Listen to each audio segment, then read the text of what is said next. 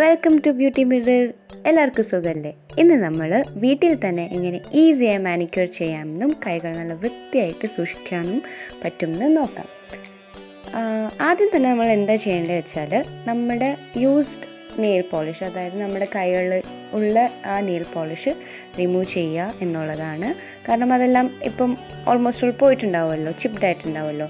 അപ്പം ഞാൻ നല്ലൊരു നെയിൽ പോളിഷ് റിമൂവർ വെച്ചത് റിമൂവ് ചെയ്യാണ്. യൂഷ്വലി എനിക്ക് ടിഷ്യൂ നെയിൽ പോളിഷ് റിമൂവേഴ്സാണ് ഇഷ്ടം. പക്ഷേ എന്റെ കയ്യിൽ അതിപ്പോൾ ഇല്ലാത്തതുകൊണ്ടാണ് ഞാനിത് യൂസ് ചെയ്യുന്നത്. ഇതെനിക്ക് അത്ര ഇഷ്ടമില്ല കേട്ടോ. അത്ര കംഫർട്ടബിൾ അല്ല എനിക്ക്.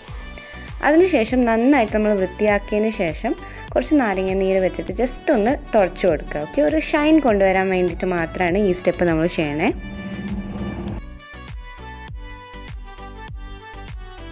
അടുത്തെന്ന് വെച്ചാൽ ഒരു ബൗളിൽ നമുക്ക് ഇളം ചൂടുവെള്ളം എടുക്കാം. അതിലേക്ക് നമുക്ക് കുറച്ച് നാരങ്ങ നീരും ആ നാരങ്ങയുടെ തൊലി അതിനകത്ത് ഇട്ടതിന് ശേഷം നമുക്ക് കുറച്ച് face wash body wash use ചെയ്യാം.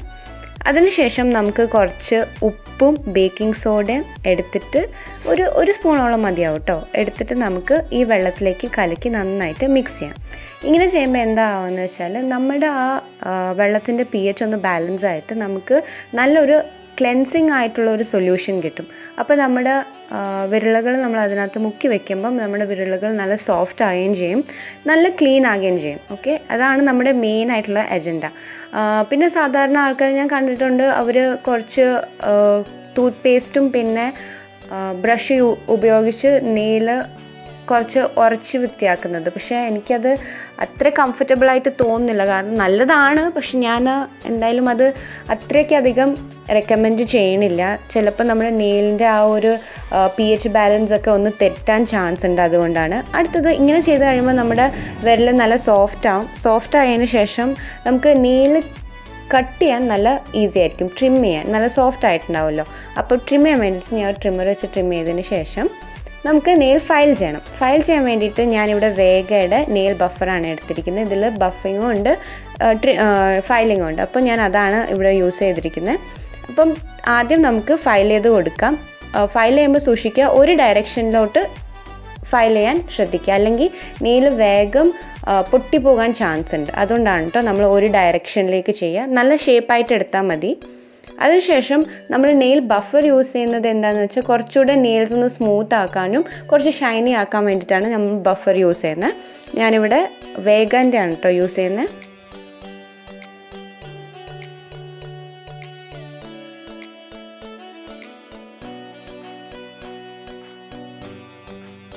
അടുത്ത സ്റ്റെപ്പ് എന്താണെന്ന് വെച്ചാൽ നമ്മുടെ നെയിൽ കട്ടറിൽ തന്നെ വരുന്ന ടൂൾ വെച്ചിട്ട് ഞാൻ ക്യൂട്ടിക്കിളൊക്കെ ഒന്ന് പുഷ് ചെയ്ത് കൊടുക്കുകയാണ് ഒന്ന് വൃത്തിയാക്കുകയാണ് പിന്നെ എക്സ്ട്രാ എന്തെങ്കിലും ഉണ്ടെങ്കിൽ അത് ഞാൻ റിമൂവ് ചെയ്ത് കളയാണ്.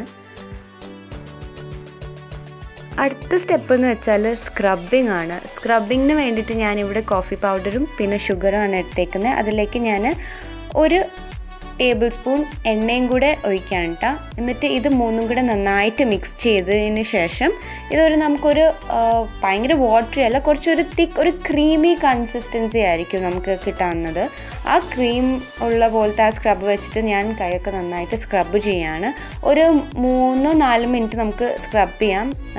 കാരണം കൈ മുഖം കഴിഞ്ഞിട്ട് നമ്മുടെ കൈയാണ് ഏറ്റവും കൂടുതൽ എക്സ്പോസ് ആവുന്ന അടുത്ത പാർട്ട് അപ്പോൾ അത് നമുക്ക് അത്യാവശ്യം നല്ല വൃത്തിയിലും നല്ല ഒരു ഭംഗിയിലും വേണം സൂക്ഷിക്കാൻ. അതുകൊണ്ടാണ് ഞാൻ നന്നായിട്ട് സ്ക്രബ് ചെയ്യണം എന്ന് പറയുന്നത്.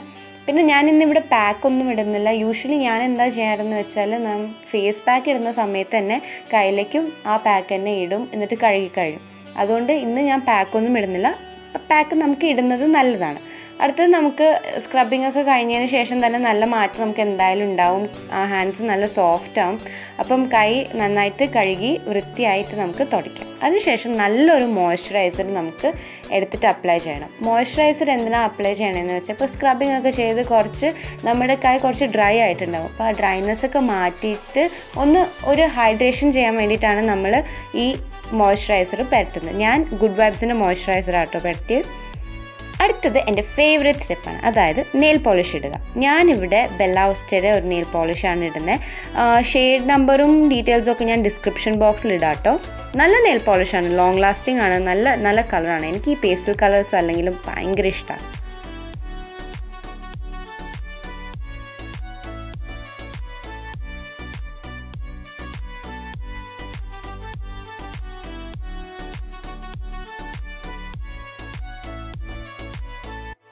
നെയിൽ പോളിഷ് ഇടുമ്പം മാക്സിമം നമുക്ക് ഒരേ ഒരു ഡയറക്ഷനിലേക്ക് ആദ്യം ഒരു കോട്ട് പിന്നെ ഒരു കോട്ട് ഇടാൻ വേണ്ടിയിട്ട് ശ്രദ്ധിക്കുക. അഴിച്ച് വാരി പെരട്ടരുത് കേട്ടോ പിന്നെ ഒരു ഭംഗി ഉണ്ടാവില്ല കാണാൻ. അപ്പോൾ ഇത്രയും ചെയ്തതിന്റെ ഭംഗിയൊക്കെ കിടക്കുന്നത് നമ്മൾ നെയിൽ പോളിഷ് അപ്ലൈ ചെയ്യുന്നതിലാണ് കേട്ടോ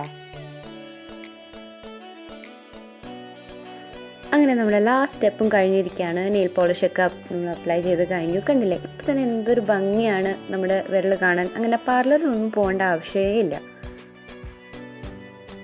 ഇതിപ്പോൾ ഞാൻ യൂസ് ചെയ്യുന്ന ഒരു മോയ്സ്ചറൈസറാണ് കേട്ടോ പോൺസിന്റെ ഡ്രൈ സ്കിന്നുകാർക്കുള്ളതാണ് ഇതിന്റെ റിവ്യൂ ഞാൻ പറയാം. അങ്ങനെ നമ്മുടെ ഈസി മാനിക്യൂർ അറ്റ് ഹോം കഴിഞ്ഞിരിക്കുകയാണ്. വീഡിയോ നിങ്ങൾക്ക് ഇഷ്ടപ്പെട്ടെങ്കിൽ എപ്പോഴും പറയുന്ന പോലെ തന്നെ ലൈക്ക് ചെയ്യാനും ഷെയർ ചെയ്യാനും സബ്സ്ക്രൈബ് ചെയ്യാനും കൂടുതലുള്ള ബെല്ലൈക്കൻ അമർത്താനും മറക്കല്ലേ?